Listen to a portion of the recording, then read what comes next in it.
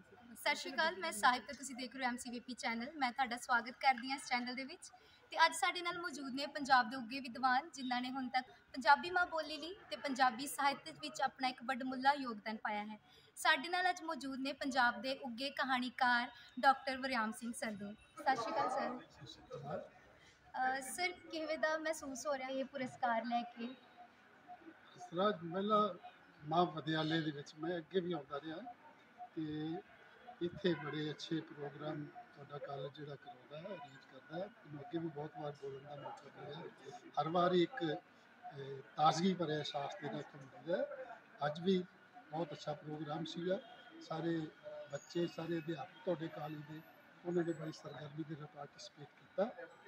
ਇਸ ਪ੍ਰੋਗਰਾਮ ਨੂੰ ਕਾਮਯਾਬ ਕਰਨ ਵਿੱਚ ਆਪਣਾ ਪੂਰਾ ਤਾਣ ਲਾਇਆ। ਉਹਦੇ ਵਾਸਤੇ ਪ੍ਰਿੰਸੀਪਲ ਸਾਹਿਬਾਨ ਤੁਹਾਡੇ ਅਧਿਆਪਕ ਸਾਹਿਬਾਨ ਤੇ ਤੁਸੀਂ ਸਾਰੇ ਲੋਕ ਜਿਨ੍ਹਾਂ ਨੇ ਸਾਥ ਦਿੱਤਾ ਉਹਨਾਂ ਦਾ ਸਾਰੇ ਮੁਬਾਰਕ ਨਾਲ ਦੇ ਵਾਸਤੇ ਥੈਂਕ ਧੰਨਵਾਦ ਸਰ ਸਰ ਮੈਂ ਪੁੱਛਣਾ ਚਾਹੁੰਦੀ ਹਾਂ ਕਿ ਤੁਸੀਂ ਪੰਜਾਬ ਦੇ ਕਹਾਣੀਕਾਰ ਹੋ ਅੱਗੇ ਤੇ ਤੁਹਾਨੂੰ ਕਹਾਣੀਆਂ ਲਿਖਣ ਦਾ ਜਿਹੜਾ ਸ਼ੌਂਕ ਸੀ ਅਹ ਜਿਹੜਾ ਤੁਹਾਡੇ ਅੰਦਰ ਉਹ ਜਜ਼ਬਾ ਉੱਠਿਆ ਨਾ ਤੁਹਾਨੂੰ ਕਿੱਥੋਂ ਪ੍ਰੇਰਣਾ ਮਿਲਦੀ ਹੈ ਕਹਾਣੀਆਂ ਲਿਖਣ ਦੀ? ਇਹ ਤੇ ਗੱਲਾਂ ਤੇ ਹੈਗੀਆਂ ਨੇ ਲੰਮੀਆਂ ਹਾਂਜੀ। ਪਰ ਮੈਂ ਤੁਹਾਨੂੰ ਸੰਖੇਪ 'ਚ ਦੱਸਦਾ ਹਾਂ ਕਿ ਅਹ, ਬਚਪਨ 'ਚ ਹੀ ਮੈਂ ਜਦੋਂ ਆਪਣੀ ਦਾਦੀ ਦੇ ਕੋਲੋਂ ਰਜਾਈ 'ਚ ਬੈਠ ਕੇ ਛੋਟੀ ਉਮਰ 'ਚ ਬਾਤਾਂ ਸੁਣਦਾ ਹੁੰਦਾ ਸੀਗਾ ਤੇ ਉਦੋਂ ਮੈਂ ਕਹਿੰਦਾ ਕਿ ਮੇਰੇ ਅੰਦਰ ਕਿਤੇ ਕਹਾਣੀ ਦਾ ਬੀਜ ਦਿਖ ਪਿਆ ਸੀਗਾ ਫਿਰ ਉਦੋਂ ਅਗਲਾ ਪੜਾਅ ਜਿਹੜਾ ਸੀ ਇਹ ਆਇਆ ਕਿ ਅਜੇ ਮੈਂ ਸਕੂਲ ਜਾਣ ਦੀ ਉਮਰ ਵਿੱਚ ਵੀ ਨਹੀਂ ਸੀ ਕਿ ਮੇਰੇ ਪਿਤਾ ਜੀ ਜਿਹੜੇ ਸਨ ਉਹ ਭਾਵੇਂ 8ਵੀਂ ਜਮਾਤ 'ਚ ਉੱਠ ਬੈਠੇ ਹੋਏ ਸੀਗੇ, ਪਰ ਉਹਨਾਂ ਨੂੰ ਪੜ੍ਹਨ ਲਿਖਣ ਦਾ ਸ਼ੌਕ ਸੀ, ਸਹਿਤ ਪੜ੍ਹਨ ਦਾ ਵੀ ਤੇ ਉਹ ਰਾਤ ਨੂੰ ਲਾਲ ਟੈਰ ਦੇ ਚਾਨਣ ਵਿੱਚ, ਉਦੋਂ ਬਿਜਲੀ ਨਹੀਂ ਸੀ ਅਜੇ ਆਈ ਹਾਂਜੀ। ਪਿੰਡਾਂ ਦੇ ਵਿੱਚ ਲਾਲਟੈਨ ਦੇ ਚਾਨਣ ਵਿੱਚ ਕੋਈ ਨਾਵਲ ਪੜ੍ਹ ਕੇ ਸੁਣਾਉਂਦੇ ਨੇ ਸੁਣਾ ਤੇ ਉਹ ਮੇਰੀ ਮਾਂ ਨੂੰ ਰਹੇ ਹੁੰਦੇ ਸੀਗੇ। ਪਰ ਮੈਂ ਬੱਚਾ ਸੀ ਨਾਲ ਤੇ ਇਹਨੂੰ ਕਹਿੰਦੇ ਝੋਨੇ ਦੇ ਪੰਜ ਟੀਲੇ ਨੂੰ ਪਾਣੀ ਆਉਂਦਾ। ਮਤਲਬ ਝੋਨਾ ਹੈ ਨਾ ਉਹਦੇ ਵਿੱਚ ਜਿਹੜੇ ਦੂਜੇ ਘਾਹ ਬੂਟੇ ਕਿ ਉਹ ਝੋਨੇ ਨੂੰ ਪਾਣੀ ਝੋਨੇ ਨੂੰ ਲਾਇਆ ਹੁੰਦਾ ਤੇ ਉਹਨਾਂ ਨੂੰ ਪਾਣੀ ਆਟੋਮੈਟਿਕਲੀ ਨਾਲ ਮਿਲ ਜਾਂਦਾ। ਤਾਂ ਮੈਨੂੰ ਆਟੋਮੈਟਿਕਲੀ ਇਦਾਂ ਸੀ ਕਿ ਉਹ ਪਾਣੀ ਮਿਲਦਾ ਰਿਹਾ ਤੇ ਮੈਂ ਉਹ ਨਾਵਲ ਦੇ ਜਿਹੜੇ ਕਾਂਡ ਜਦੋਂ ਜਿੱਥੇ ਮੁਕਾਉਂਦੇ ਸੀਗੇ ਉਹਦੇ 'ਚ ਇੰਨੀ ਉਤਸੁਕਤਾ ਹੁੰਦੀ ਸੀ ਦਿਲਚਸਪੀ ਹੁੰਦੀ ਸੀ ਕਿ ਮੇਰਾ ਦਿਲ ਕਰਦਾ ਹੁੰਦਾ ਸੀ ਵੀ ਅਗਲੀ ਰਾਤ ਕਦੋਂ ਹੋਵੇ ਔਰ ਮੇਰਾ ਪਿਤਾ ਜਿਹੜਾ ਉਹ ਫਿਰ ਅਗਲਾ ਹਿੱਸਾ ਜਿਹੜਾ ਪੜ੍ਹ ਕੇ ਸੁਣਾਵੇ। ਜਦੋਂ ਪੜ੍ਹ ਕੇ ਸੁਣਾ ਰਹੇ ਹੁੰਦੇ ਸੀ ਤੇ ਮੈਨੂੰ ਲੱਗਦਾ ਸੀ ਕਿ ਇਹ ਜਿਹੜੇ ਪੁਸਤਕ ਦੇ ਵਿੱਚ ਛਪੇ ਹੋਏ ਕਾਲੇ ਅੱਖਰ ਨੇ, ਇਹ ਕਾਲੇ ਅੱਖਰ ਨਹੀਂ ਹੈਗੇ। ਇਹਨਾਂ ਦੇ ਵਿੱਚ ਇੱਕ ਸੰਸਾਰ ਵਸਦਾ ਹੈ। ਇਹਦੇ ਵਿੱਚੋਂ ਹੀ ਉੱਠ ਕੇ ਬੰਦੇ ਬੋਲਣ ਲੱਗਦੇ ਨੇ, ਇਹਦੇ ਵਿੱਚੋਂ ਹੀ ਉੱਠ ਕੇ ਬੰਦੇ ਲੜਨ ਲੱਗਦੇ ਨੇ, ਇਹਦੇ ਵਿੱਚੋਂ ਹੀ ਉੱਠ ਕੇ ਬੰਦੇ ਰੋਣ ਲੱਗਦੇ ਨੇ, ਹੱਸਣ ਲੱਗਦੇ ਨੇ। ਉਹ ਜਿਹੜਾ ਕਿਤਾਬਾਂ ਵਿੱਚ ਵਸਿਆ ਹੋਇਆ ਇਸ ਤਰ੍ਹਾਂ ਦਾ ਸੰਸਾਰ ਸੀ ਨਾ ਇਹ ਮੈਨੂੰ ਅਟਰੈਕਟ ਕਰਦਾ ਸੀ ਤੇ ਮੇਰੇ ਮਨ ਵਿੱਚ ਛੋਟੇ ਹੁੰਦੇ ਤੋਂ ਇਹ ਲਲਕ ਬੈਠਦੀ ਕਿ ਜਿਨ੍ਹਾਂ ਲੇਖਕਾਂ ਨੂੰ ਅਸੀਂ ਪੜ੍ਹਦੇ ਹਾਂ, ਜਿਨ੍ਹਾਂ ਲੇਖਕਾਂ ਦੇ ਬਾਰੇ ਅਸੀਂ ਸੁਣਦੇ ਹਾਂ, ਉਹ ਕਿੰਨੇ ਉੱਚੇ ਹੋਣਗੇ, ਕਿੰਨੇ ਵੱਡੇ ਹੋਣਗੇ, ਉਹਨਾਂ ਨੂੰ ਮਿਲਣ ਨੂੰ ਤੇ ਉਹਨਾਂ ਨੂੰ ਵੇਖਣ ਨੂੰ ਵੀ ਜੀ ਕਰਦਾ ਹੁੰਦਾ ਸੀ। ਇਹ ਜਿਹੜੀ ਗੱਲ ਸੀ ਨਾ, ਮੇਰੇ ਮਨ ਦੇ ਵਿੱਚ ਮੁੜ ਤੋਂ ਹੀ ਬੈਠ ਗਈ ਕਿ ਮੈਂ ਕੁਝ ਲਿਖਾਂ ਜ਼ਰੂਰ। ਬਾਅਦ ਵਿੱਚ ਮੈਂ ਕਈ ਵਾਰ ਮਿਸਾਲ ਦਿੰਦਾ ਹੁੰਦਾ, ਸਾਡੇ ਆਜ਼ਾਦੀ ਸੰਗਰਾਮ ਦੇ ਵੱਡੇ ਘੁਲਾਟੀਏ ਬਾਬਾ ਸੋਹਣ ਸਿੰਘ ਪਟਨਾ ਗਦਰ ਪਾਰਟੀ ਦੇ ਪ੍ਰਧਾਨ ਸਨ ਉਹਨਾਂ ਨੇ ਇੱਕ ਵਾਰ ਗੁਰ ਸਰਦਾਰ ਗੁਰਬਖਸ਼ ਸਿੰਘ ਪ੍ਰੀਤ ਜਿਹੜੀ ਪ੍ਰੀਤ ਮੇਲੀਆਂ ਕਰਵਾਉਂਦੇ ਹੁੰਦੇ ਸੀਗੇ। ਅੰਮ੍ਰਿਤਸਰ 1967 ਦੀ ਗੱਲ ਪ੍ਰੀਤ ਦੇ ਵਿੱਚ ਬਾਬਾ ਸੋਹਣ ਸਿੰਘ ਪਟਨਾ ਨੇ ਕਿਹਾ ਕਿ ਨੌਜਵਾਨੋ ਇਹ ਜਿਹੜੇ ਪਾਤਰ ਨੇ ਕਹੀ ਸੀ ਕਿ ਹਰ ਬੰਦਾ ਜਿਹੜਾ ਨਾ ਉਹਦਾ ਜਿਉਂਦੇ ਰਹਿਣ ਨੂੰ ਜੀ ਹਾਂਜੀ। ਮਰਦਾ ਨਹੀਂ ਪੂਰੀ ਹਾਂਜੀ। ਜਿਹੜੀ ਖੂਬਸੂਰਤ ਗੱਲ ਉਹਨਾਂ ਨੇ ਇਹ ਕਹੀ ਉਹ ਕਹਿੰਦੇ ਕਿ ਜਿਹੜੇ ਸ਼ਹੀਦ ਹੁੰਦੇ ਆ ਨਾ ਉਹ ਵੀ ਮਰਨਾ ਨਹੀਂ ਚਾਹੁੰਦੇ। ਜਿਨ੍ਹਾਂ ਬਾਰੇ ਅਸੀਂ ਕਿੰਨੇ ਕਿੰਨੇ ਫਾਂਸੀ ਦਾ ਰਸਾ ਚੁੱਲਿਆ ਤੇ ਗਲ ਚ ਪਾਇਆ, ਹੱਸਦਿਆਂ ਹੋਇਆ। ਕਹਿੰਦੇ ਅਸਲ ਵਿੱਚ ਉਹ ਇਸ ਕਰਕੇ ਹੱਸਦਿਆਂ ਫਾਂਸੀ ਦਾ ਰਸਾ ਆਪਣੇ ਗੱਲ ਵਿੱਚ ਪਾ ਲੈਂਦੇ ਨੇ ਉਹਨਾਂ ਵਿੱਚ ਵੀ ਜੀਣ ਦੀ ਖਾਸ਼ ਹੁੰਦੀ ਹੈ ਉਹ ਕਹਿੰਦੇ ਕਿ ਆਪਣੇ ਪਰਪਸ ਵਾਸਤੇ, ਆਪਣੇ ਉਦੇਸ਼ ਵਾਸਤੇ ਜਾਨ ਦੀ ਬਾਜੀ ਬੇਸ਼ੱਕ ਲਾ ਜਾਵਾਂਗੇ।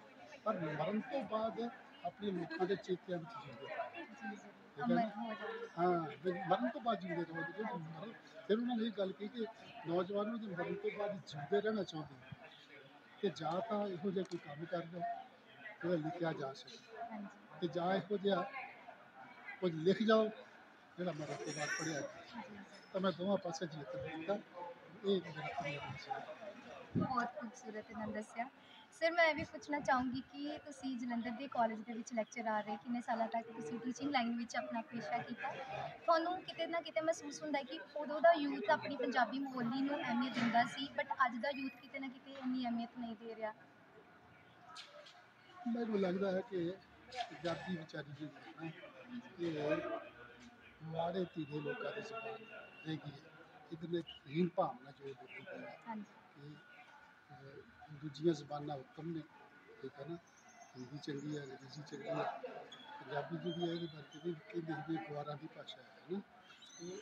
ਇਹ ਪੰਜਾਬੀ ਦੇ ਬਾਰੇ ਮੁੱਢ ਤੋਂ ਹੀ ਇਸ ਤਰ੍ਹਾਂ ਦੇ ਰੁਝਾਨ ਰਿਹਾ, ਪਰ ਜਦੋਂ ਅਸੀਂ ਪੜ੍ਹਦੇ ਹੁੰਦੇ ਸੀ ਨਾ, ਉਦੋਂ ਸਾਡੇ ਅਧਿਆਪਕਾਂ ਨੇ ਸਾਨੂੰ ਪੰਜਾਬੀ ਦੇ ਨਾਲ ਇੰਨੀ ਖੂਬਸੂਰਤੀ ਨਾਲ ਜੋੜਿਆ ਕਿ ਉਹਨਾਂ ਦੀਆਂ ਯਾਦ ਕਰਵਾਈਆਂ ਹੋਈਆਂ ਕਵਿਤਾਵਾਂ, ਅੱਠਵੀਂ 'ਚ ਮੈਂ ਜਿਹੜੀਆਂ ਸਾਰੀ ਕਿਤਾਬ ਸਾਨੂੰ ਸਾਡਾ ਅਧਿਆਪਕ ਯਾਦ ਕਰਦਾ ਔਰ ਅੱਠਵੀਂ ਦੀਆਂ ਜਿਹੜੀਆਂ ਕਿਤਾਬਾਂ ਉਹਨਾਂ ਵਿੱਚੋਂ ਮੈਨੂੰ ਅਜੇ ਵੀ ਬਹੁਤ ਸਾਰੀਆਂ ਫੋਨ ਜ਼ਬਾਨੀ ਯਾਦ ਹੈ ਜਿੱਦਾਂ ਪਾਣੀ ਵਿੱਚੋਂ ਨਿਕਲਦਾ ਨਾ ਹੈ ਇਸ ਤਰੀਕੇ ਦੇ ਨਾਲ।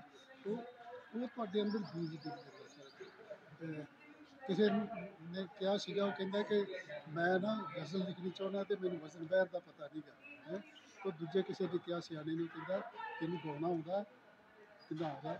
ਆਂਦਾ ਫਿਰ ਜਿਹੜੀ ਚੀਜ਼ ਲਿਖਦਾ ਨੂੰ ਗਾ ਕੇ ਵੇਖ ਜਦੋਂ ਗਾ ਕੇ ਲਿਖੇਗਾ ਤੇ ਆਪਣੇ ਆਪ ਹੀ ਤੈਨੂੰ ਪਤਾ ਲੱਗ ਜੂ ਕਿੱਥੇ ਵਜ਼ਨ ਤੇਰਾ ਘੱਟ ਹੈ ਤੇ ਕਿੱਥੇ ਤੇਰਾ ਵੱਧ ਹੈਗਾ।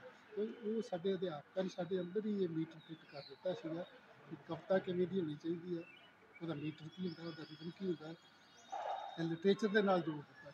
ਉਦੋਂ ਸੀ ਕਿ ਗੱਲ ਹੌਲੀ ਹੌਲੀ ਇਹ ਸਾਰਾ ਕੰਮ ਨਾ ਖਤਮ ਹੁੰਦਾ ਗਿਆ।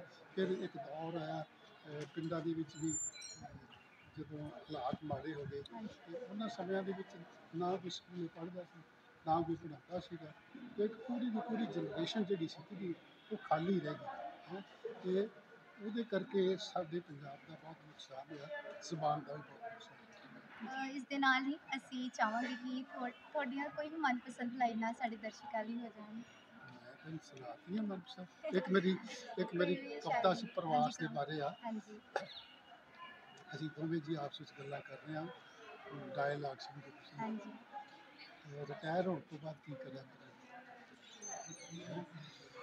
ਮੈਂ ਕਹਿ ਰਿਹਾ ਰਿਟਾਇਰ ਹੋਣ ਤੋਂ ਬਾਅਦ ਕੀ ਕਰਾਂਗੇ ਘਰ ਕੇ लिए करना की है कि आपको खाते आप अपनी का पार्टी का कराया करेंगे लोगों के छोटे दोनों की मौत में फिर अगला दृश्य ਹਾਂਜੀ ਉੱਤਰ ਦੇ ਘਰ ਮਾਜਰੀ ਹੈ ਚੁੱਕੇ ਪਰ ਜਿੱਦਾਂ ਜਾਪੇ ਹੌਲੀ ਹੌਲੀ ਫੁੱਲੇ ਫੁੱਲੇ ਅੰਬ ਤੇ